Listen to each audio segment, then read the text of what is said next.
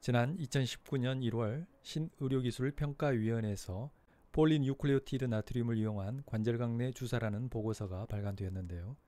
이 보고서에 따르면 어류의 정소세포에서 추출한 DNA 성분인 폴리뉴클레오티드를 이용하여 관절염이 있는 환자의 관절강 내에 주사하였을 때 큰 부작용 없이 통증과 염증이 감소된 것이 확인되었고 이에 이 치료법을 신의료기술로 등재한다는 내용이었습니다.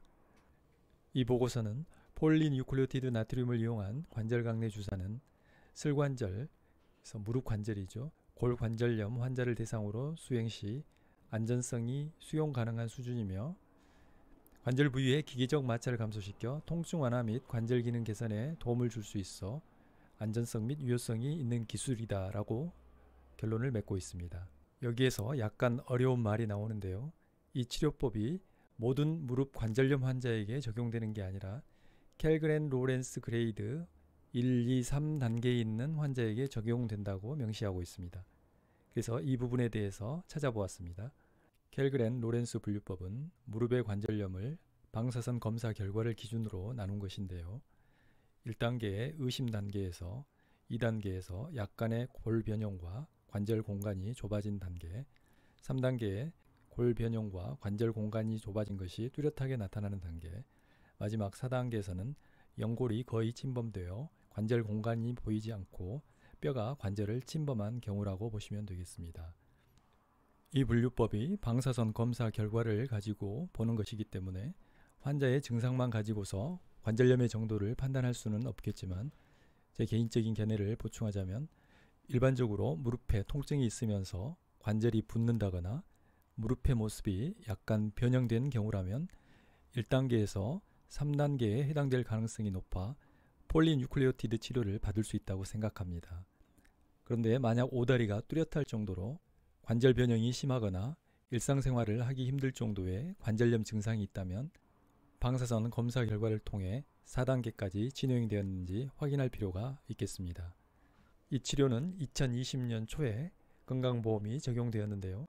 건강보험 심사평가원 자료에 따르면 폴리뉴클레오티드 나트륨을 이용한 관절강 내 주사는 두 가지 부분에서 치료비가 산정됩니다. 첫째는 이 치료의 시술 방법이 관절강 내 주사라는 점이고 다른 하나는 슬관절강 내 주입용 폴리뉴클레오티드 나트륨의 치료 재료비가 적용된다는 것이죠. 이 두 부분에서 건강보험이 적용되는 것입니다. 여기 건강보험 목록표를 보면 관절강 내 주사가 나와 있죠. 다음은 폴리뉴클레오티드의 치료 재료비에 대한 건강보험 적용 기준인데요. 본인 부담률을 80%로 정하고 있습니다. 그리고 치료 횟수는 치료 시작 6개월 내에 최대 5회까지 투여가 가능합니다. 지금까지 폴리뉴클레오티드 치료와 연관된 의료 현장의 실무적인 내용을 살펴보았는데요. 이제부터는 이 치료가 어떻게 무릎 관절염에 도움을 주는지 알아보기로 하겠습니다. 여러분께서도 잘 아시는 바와 같이 poly는 많다의 의미를 가지고 있지요. 따라서 폴리 뉴클레오티드는 다량의 뉴클레오티드가 중합체를 이룬 구조라고 보시면 되겠습니다. 뉴클레오티드에 대해서는 다음 영상에서 말씀드리겠습니다. 폴리뉴클레오티드를 이용한 치료는 보통 DNA 주사라고 알려져 있는데요. 그 이유는 어류 정소에서 추출된 DNA가 치료제로 이용되기 때문입니다. 정소 부분에 있는 세포들은 비교적 불순물을 적게 포함하고 있어서 치료제로 이용되었을 때 인체에서 면역 반응을 잘 일으키지 않는 것으로 알려져 있습니다. 뉴클레오티드는 염기, 당, 인산으로 이루어진 분자 구조인데요. 먼저 염기에는 두 개의 고리로 이루어진 아데닌과 구아닌 그리고 한 개의 고리로 이루어진 시토신, 우라실, 티민으로 구성되어 있습니다. 여기에서 우라실은 RNA에서만 발현이 되고 티민은 DNA에서만 관찰됩니다. DNA 구조 내에서 아데닌은 티민과만 결합하고 구아닌은 시토신과만 결합하지요. 원래 정상적인 DNA에서는 우라실이 관찰되지 않죠. 하지만 어떤 변이 과정에 의해 DNA 내에서 우라실이 관찰되면 자정작용에 의해 이 부분이 탈락되고 DNA는 정상적으로 복구하게 됩니다. 이런 점은 DNA의 안정성을 유지하는데 매우 중요한 특징이라고 할 수 있겠습니다. 방금 말씀드린 염기에 당이 붙어 있는 구조를 뉴클레오시드라고 합니다. 여기서 한 가지 주목할 부분이 있는데요.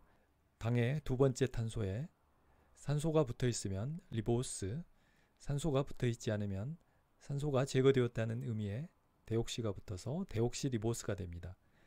이와 같은 점들이 DNA와 RNA의 차이를 만들어내죠. 마지막으로 뉴클레오시드에 인산이 결합된 구조를 뉴클레오티드라고 합니다. 뉴클레오티드의 몇 가지 중요한 기능에 대해서 알아보겠습니다. 염기에 아데닌이 붙어 있고 인산이 3개가 있는 ATP는 세포의 주요 에너지원이죠. ATP에서 두 개의 인산이 빠져나가고 고리 모양으로 형성된 사이클릭 AMP는 세포 신호 전달에서 중요한 역할을 수행합니다. 한편 염기에 구안인이 붙어 있고 인산이 3개가 있는 GTP가 있는데요. 이 GTP에서 역시 두 개의 인산이 빠져나가고 고리 모양의 구조를 가지는 사이클릭 GMP는 혈액순환과 밀접한 관계가 있습니다. 여기에서 한 가지 흥미로운 의학 상식을 말씀드리면 남성 발기부전의 대표적인 치료 약물인 비아그라는 사이클릭 GMP를 분해시키는 효소인 포스포 디에스테라제라는 효소를 차단하여 사이클릭 GMP가 더 풍부하게 해당 조직에 유지되도록 함으로써 발기부전을 치료합니다. 지금부터는 뉴클레오티드의 중합체인 폴리뉴클레오티드가 어떻게 관절염을 치료하는지 알아보겠습니다. 여기에서는 폴리뉴클레오티드와 비슷한 치료 기전을 가진 PDRN에 관련된 논문을 인용하여 설명을 드리겠습니다. 물론 두 물질이 완전히 동일한 것은 아니지만 핵심적인 치료 기전을 공유한다고 보면 되겠습니다. 먼저 이 치료제들은 우리 몸의 조직에 있는 아데노신 수용체라는 곳에 작용합니다. 이 수용체는 혈관 생성이나 세포 재생, 그리고 염증 조절과 산소 이용에 관여하는 곳으로 알려져 있습니다. 다음으로 이러한 치료제들은 분해되면서 인체에 필요한 뉴클레오티드 또는 DNA 합성에 필요한 재료로 재활용됩니다. 이와 같은 경로를 재활용 경로라고 하고 이로 인해 조직 재생과 상처 치유가 촉진됩니다. 여기에서 이 두 치료제들 간의 차이를 살펴보면 폴리뉴클레오티드는 PDRN보다 더 큰 분자량을 가지고 있어서 수분 함유 능력이 뛰어나고 점성이 높은 겔 형태를 형성하여 관절과 같은 기계적인 자극이 강한 부위에서 조직을 보호하는 효과가 더 큰 것으로 알려져 있습니다.